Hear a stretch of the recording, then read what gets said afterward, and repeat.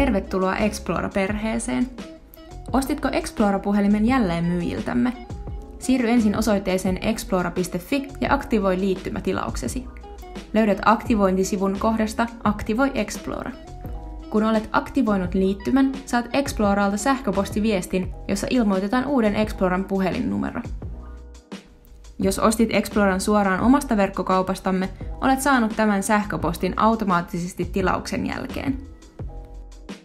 X5 Play-pakkaukseen kuuluu kellopuhelimen lisäksi laturi, SIM-kortin poistamiseen tarkoitettu työkalu ja käyttöoppaat useilla eri kielillä.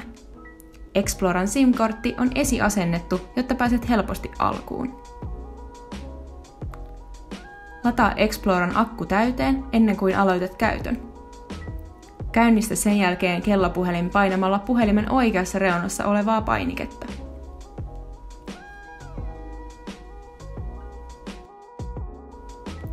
Explora-puhelinta käytetään tiiviisti yhdessä huoltajien Explora-sovelluksen kanssa. Löydät sovelluksen App Storesta ja Google Play-kaupasta. Lataa sovellus omaan älypuhelimeesi ja kirjaudu sisään tai luo uudet tunnukset. Muista luoda tunnukset omalla puhelinnumerollasi.